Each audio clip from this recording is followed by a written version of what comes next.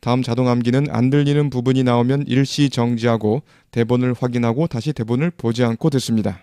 대본을 안 보고 들어야 어순과 청각 이미지가 제대로 쌓이게 됩니다.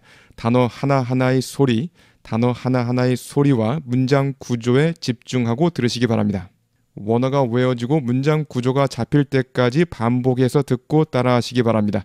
그러면 여러분의 머릿속에 청각 이미지와 어순이 쌓이게 됩니다. In China, it's extreme drought. In China, it's extreme drought. In China, it's extreme drought.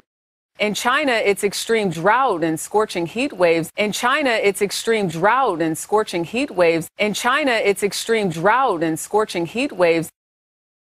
In China, it's extreme drought and scorching heat waves.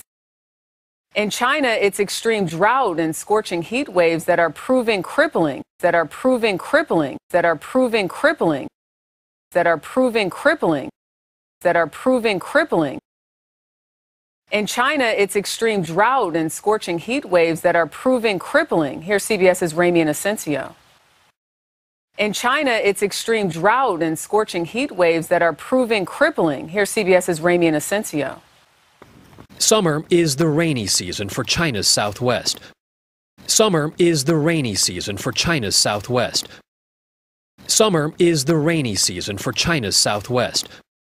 Summer is the rainy season for China's southwest, but dry, cracking riverbeds like this, but dry, cracking riverbeds like this, but dry, cracking riverbeds like this, but dry, cracking riverbeds like this, but dry, cracking riverbeds like this across the 4,000 mile Yangtze River, across the 4,000 mile Yangtze River, across the 4,000 mile Yangtze River, across the 4,000 mile Yangtze River, across the 4,000 mile Yangtze River, question that fact.